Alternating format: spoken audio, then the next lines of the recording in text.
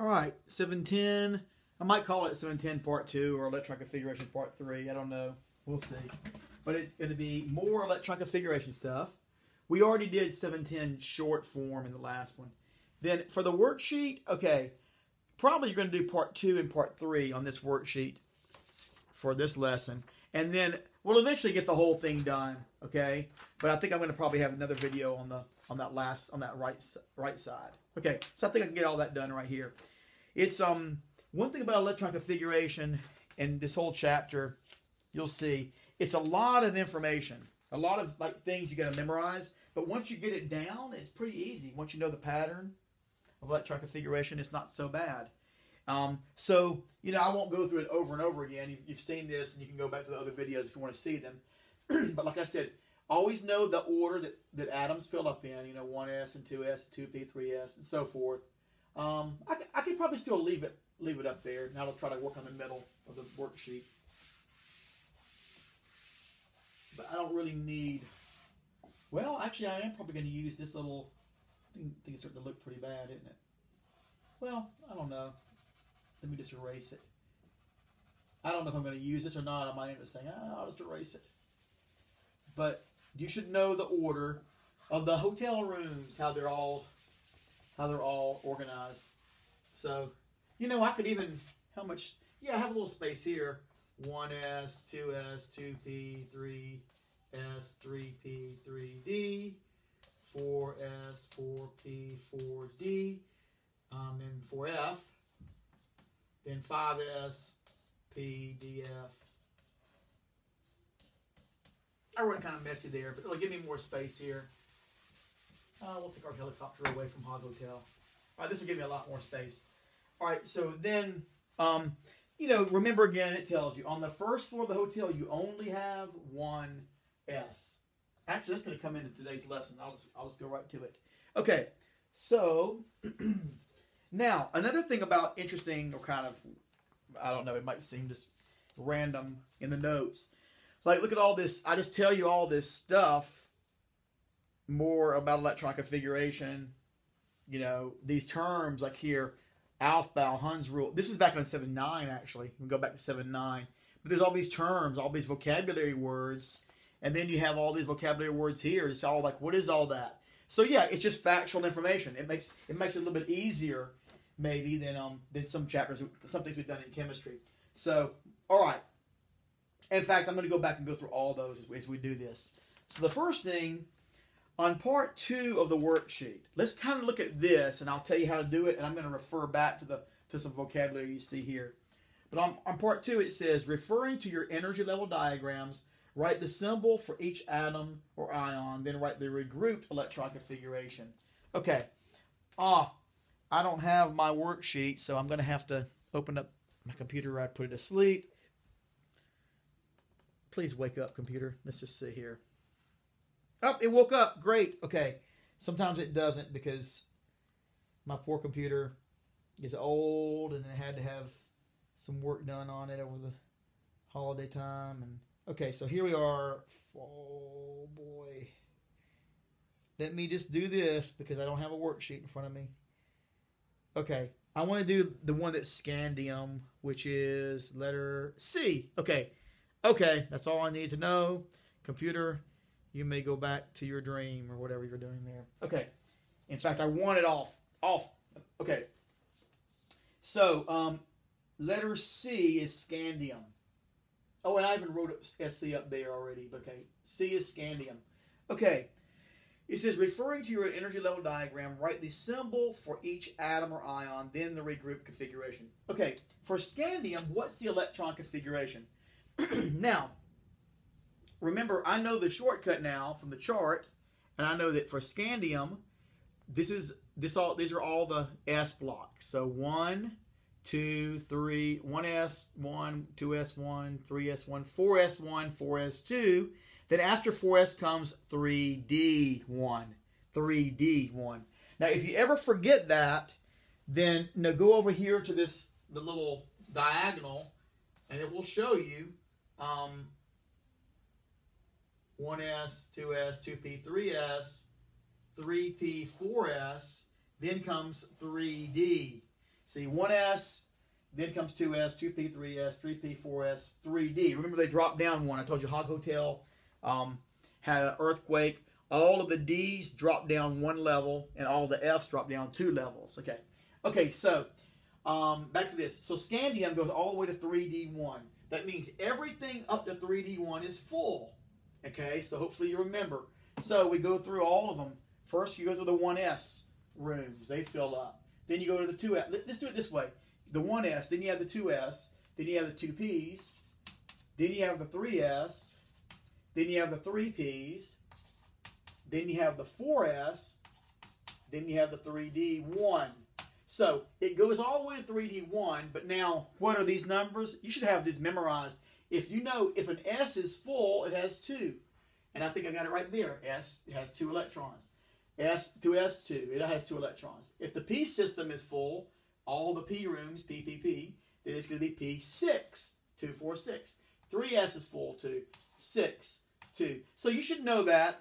Hopefully you picked that up from the other lessons. But, you know, once you know the top block location, the highest block location for scandium, everything before it was full. So it's not too bad.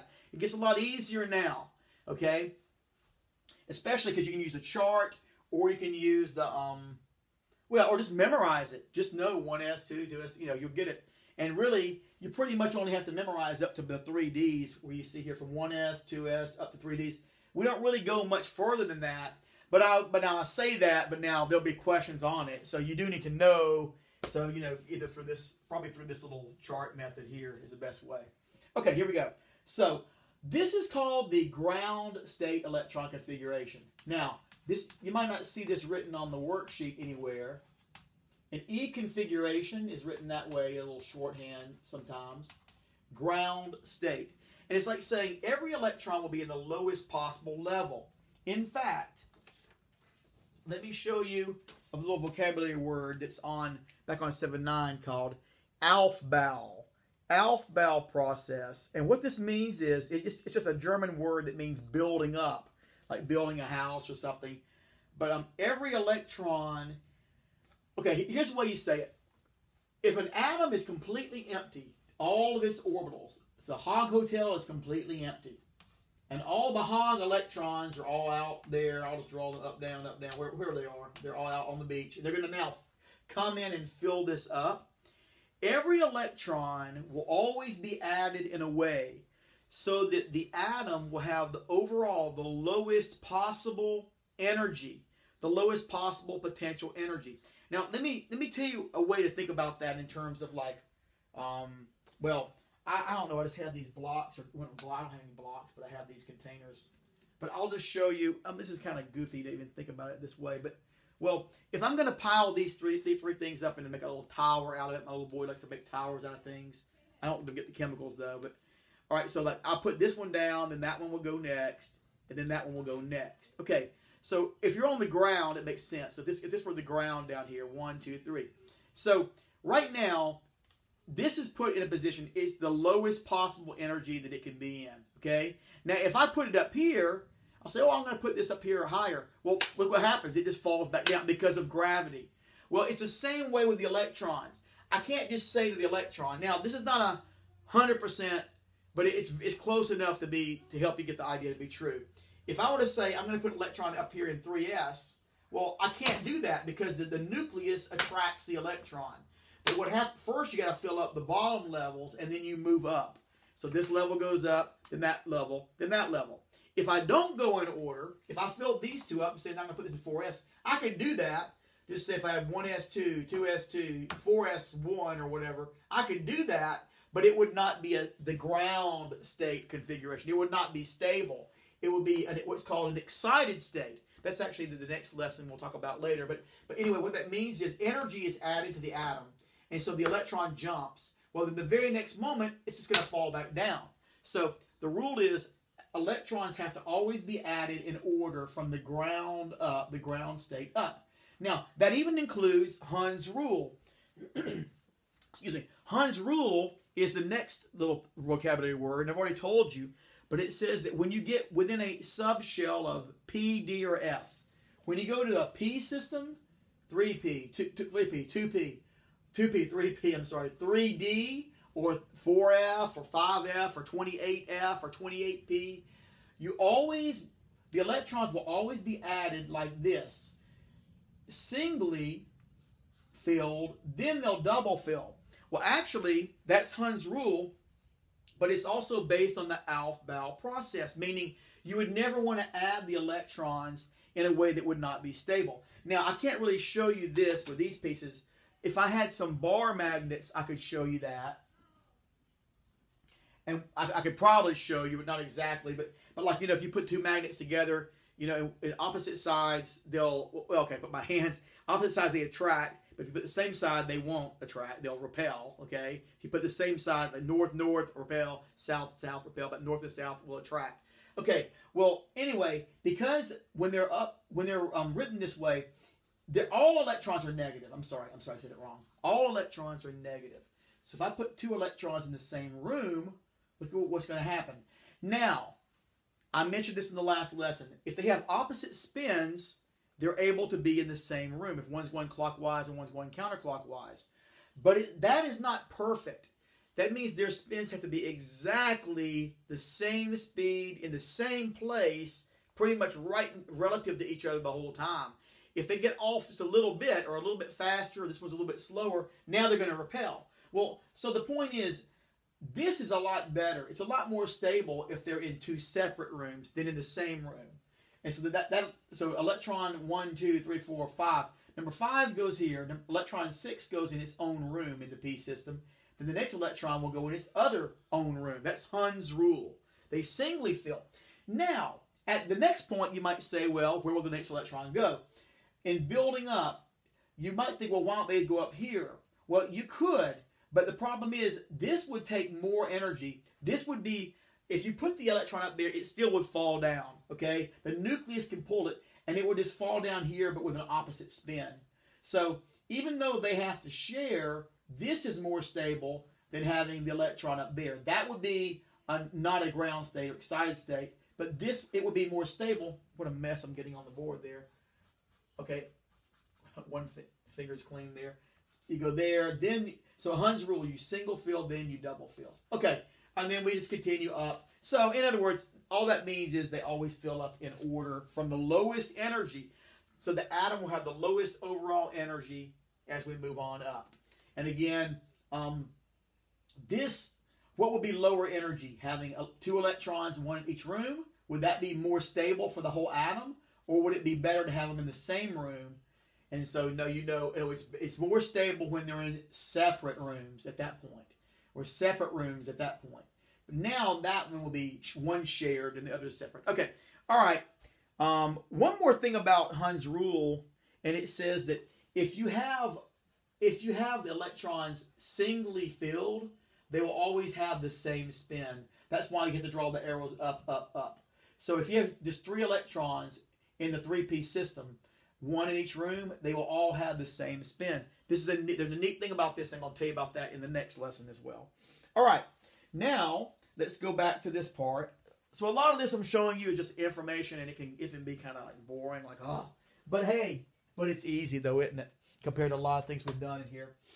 Okay, so back to this. I, I was going to do part two on the worksheet number three, and I kind of abandoned, but I'm back to it again. Well, here I, I'm finally there. Part two C. Part two C. I'm sorry. All right. This is not part two C. Oh, and I wrote that up there, and I said it, but I didn't. Okay, part two C what they want you to do is first you write down the symbol SC for scandium. Not for SC, but for scandium, okay, which is SC. Haha. Okay, all right, so, because um, it would be USC then. All right, so scandium is SC. Then I'm going to write what's called the regrouped electron configuration. Now, this term, I don't really hear this anywhere else except it was in it was in one of the books. I've, I, you know, went through many different textbooks when I prepared a lot of this stuff. I would try to, I would try to like hope, hopefully try. I try hard to make this ultimate worksheet. That if you could do this, you could do anything from any textbook you get on chemistry. You can do, you know, anything on electric configuration, everything they can ask you. Just about. I didn't put everything on here, but just about. Okay, so what is do I mean by regrouped electron configuration? Ground state, they're all in the same, they're in order. Regrouped, you're just going to group them according to the floors of Hog Hotel by energy level. So in other words, I'm going to put all of ones together, all the twos together, and I'll put all the threes together. You see that there's a three over here. So it'll be 1s2, then I'll put 2s2, 2p6, then 3s2, 3p6, 3d1, then 4s2. Okay. Now, the only reason I do this is just it's just more of like kind of understanding a little bit about the levels in the Hog Hotel. There's not going to be a whole lot of reason that you really have to know this, but sometimes it's asked, and so I want to I just want to bring it up. So here's the deal. Now, a while back there was a model of the atom called the Bohr model, and it was by Niels Bohr, and we're going to talk about that. Can you see all those? Oh yeah, I guess you can, sort of. Okay. Well, here's how it works. Niels Bohr used what's called the planetary model of the atom. He believed in that, and well, that was his theory based on Rutherford as well. But it turns out now we have the quantum model. So I'll talk more about the quantum model as we move on. But one thing I'll mention here is that it is okay to assume that electrons in an atom as you move from level one to level two, level three, level four, and so forth, level five, six, seven, eight, nine, the electrons in those levels are physically farther from the nucleus on the average. On the average, they are. And I'll show you what I mean by that later. I, am going to go that in, an, in another lesson after this.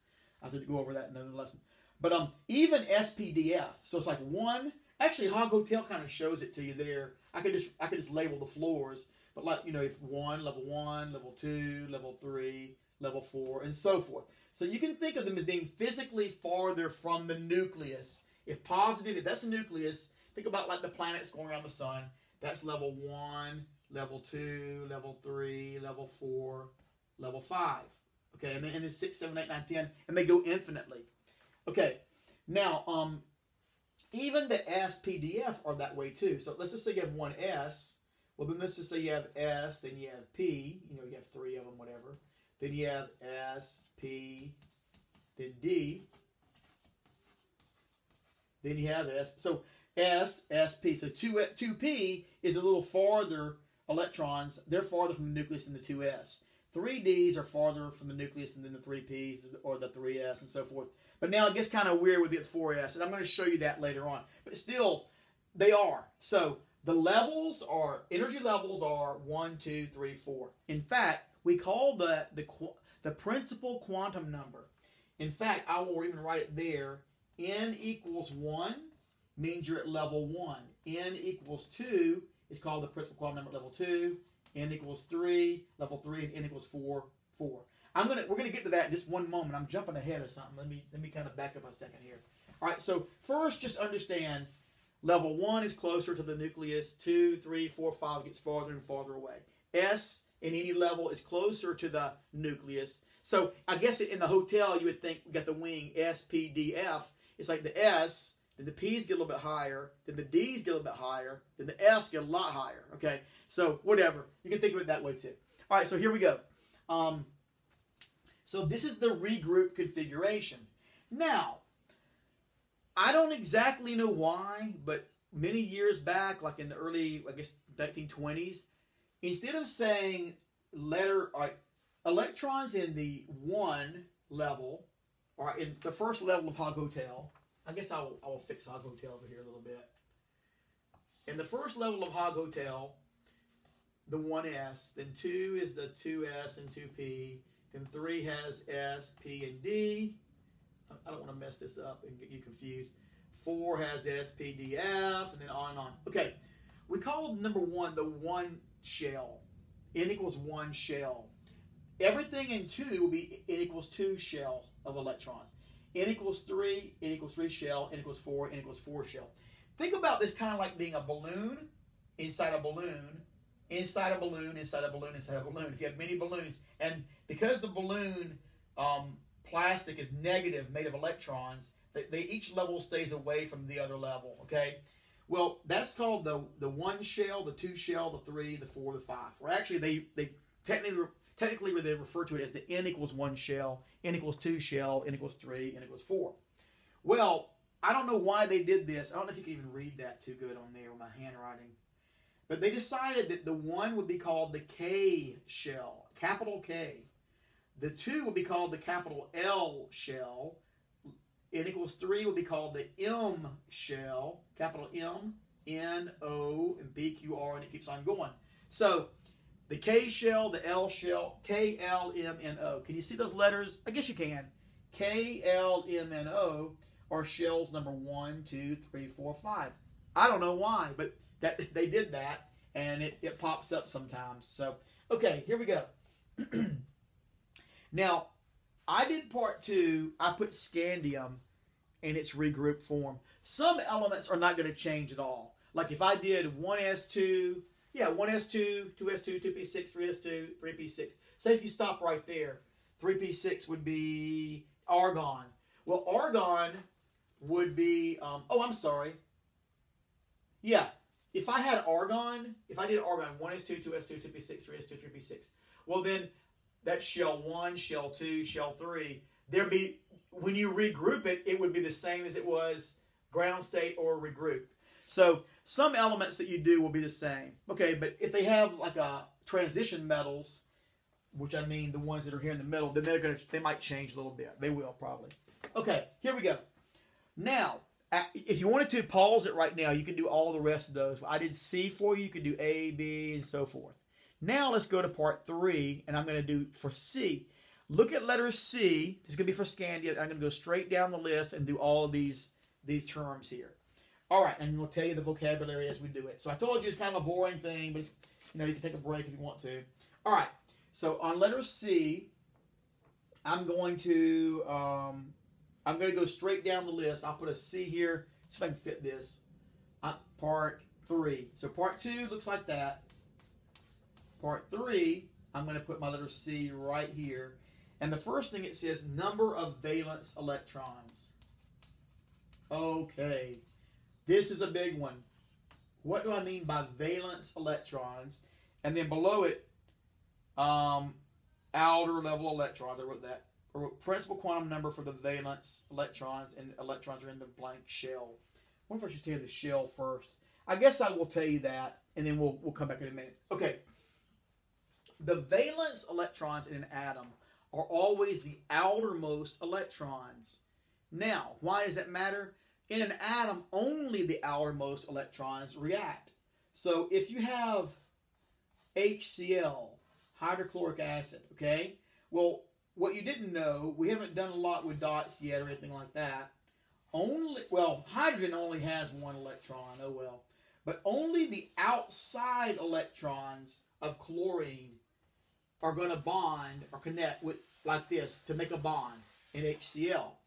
All the electrons that are on the inside are going to stay as part of chlorine. So you can almost think about it like this and say, whatever your outer level that's full, only those are your valence electrons, the ones that are in the outermost level. Okay, so how do you determine what are in the outermost level? The best way um, to do it is to write the short form electron configuration. To find valence, write the short form. Well, I'm going to show you a shortcut in a moment. And short form is a shortcut. Write the short form E config to find valence. So for scandium, I already did that actually last lesson, and I can go up here and just write it there. Can you remember how we did that? You look at scandium, and you say, okay, what noble gas comes before scandium? We go backwards, not calcium, not potassium. It has to be group 18, argon.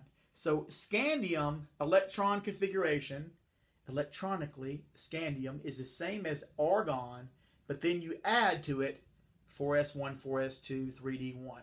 So 4s2, 3d1. Argon, 4s2, 3d1. Okay. I don't know if you can see that too good, and my chalk is getting, it's surviving. Um, you know what? I don't think I'm going to need this anymore, so I can just write it there too for now. All right, so argon, write the short form. And listen carefully when I tell you. The valence electrons, when you write the short form, they will always be all the electrons, like you have 2 plus 1 is 3, all the electrons that are left over, that are after the noble gas, except, so 2 plus 1 would be 3 in this case. So you'd say, well, a scandium has 3 valence electrons. But now, hold on, there's an exception. You write the short form. The valence electrons are all the electrons that are left over, except you do not count any electrons that are in D10 or F14. So what that means is if the D system is full or if the F system is full, then they do not react, as I showed you over here with, um, they do not react. They do not form bonds. They, do, they are not they are not valence electrons. Okay? So and D10, if your D system is full or if your F is full, then it would not count. So for scandium, how many valence electrons are there? There will be three. Number of valence electrons, you can put the number three right there. All right? Now let me show you an, another example. Like what if I had an, oh, I didn't want to erase that yet. Oh, no, no, I certainly didn't. Okay. Oh, well. Let's say that I have, um, okay, uh, okay, let, us see, scandium is, is argon 4s2, 3d1. Let me pick an element like gallium. Okay, how about that? Gallium. If I did gallium, galliums would be argon 4s2, 3d10, then 4p1. So gallium is, on the chart, argon, then 4s2, then you go through all the D's are full, 3d10, then 3p1. Okay, well, if I look at that, how many valence electrons does gallium have? Well, I have 3d10. So the 3d10, those don't count as valence. So it would be 2 plus 1. It would be 3 valence electrons. 3. Now, uh, I, am tempted to show you the shortcut, but now, I'm not going to show you the shortcut yet. Maybe at the end, or I'll tell you another time for the chart because I want you to know how to get it from the electrons first. Okay, and if you know that shortcut, then you can use it, of course. Okay, the next question on, on here. Uh, it says the number of valence. So that was number of valence are three, and that there that's the same thing as the number of outer um, energy level electrons. The principal quantum number for the valence electrons. Okay, this term principal quantum number, principal quantum number. there are four quantum numbers for every electron. Now, I'm going to talk about that. I might make a bonus lesson on it, but you don't have to know that right now. But I'll just say this it's the floor of the hotel. The principal is the hotel floor location. So it'll be N equals. Now, for the valence electron, the principal quantum number for valence the valence electrons for scandium are found at the level n equals 4 and n equals 3. So some are on level 3 and some are on level 4 of Hog Hotel. So n equals 3 and n equals 4. Now, you could just write 3 and 4 in that blank if you wanted to. But I think it might be better to write n equals 3 and n equals 4. Now, okay, because that way you're telling me n is the, you know the n I should have even put the letter N right there, principal quantum number. But that way you know it's N. You'll always remember that's principal. That's the floor of the hotel. So go to go to floor N. They don't tell you that in a hotel, but go to floor N equals 11. Okay, that just means the 11th floor. Okay, that's all it would mean for Hog Hotel. All right, now the next question on the chart is number of valence electrons. Oh, um, Oh, valence electrons are in the blank shell. Okay. All right, blank shell. The blank shell, shell letter. The shell letter. Now, this is a picky thing. I could probably just leave it off. But shell letter would be, are these letters, K, L, M, N, O. For whatever reason, why they made them, maybe it was German scientists, but K equals, K is N equals 1. L, N equals 2, M M is n equals three and n is four. So it would be M and n. Three is M, shell M, and shell capital N. Okay? So small n for quantum number, but capital N for shell n. K L M N O. One, two, three, four, five. Uh, hopefully you can see that okay. But K is one, L is two, M is level three, N is four, and O is five. So I wrote the same things right there, but it might got, might be easier to read there. K L M N O. One, two, three, four, five. And and then, you know there'll be a P six, and it will continue on over and over. All right, we're almost done. Um, shell letter. Okay, now it says how many electrons are in each of these individual shells. How many are in the K shell? Is it all going to fit? Oh, it's not going to. Oh, you know what? I'm okay. Everything so far is fit. I'm going to have to erase. Well, I can put it to the side here. How many electrons are in the K shell, the L, the M, and the N shell? Okay, so these last few things are kind of picky for me to be teaching it, but you know what? At least you'll know it and you'll see. There's sometimes it might pop up. If this is scandium, these are the K shell electrons, everything with a 1. K is 1, N equals 1. N equals 2 is the L shell. These are all the M shell, and these are all the N shell in 4. So how many electrons are in the K shell? 2. Or I could use my green if I've been using green so far. How, how many are in the L shell? 2 plus 6, 8. How many are the M shell? 2 plus 6 plus 1, 9. And how many are the N shell? Just 2. Remember that was Hog Hotel. I can take that part off. All right. So I know this is kind of goofy in a way, almost like busy work stuff. But um, you do work all those in part two and part three. Oh, I was going to tell you um, that you could skip some of them. Oh boy, I'm going to see if I can find. I gotta wake up my computer again here.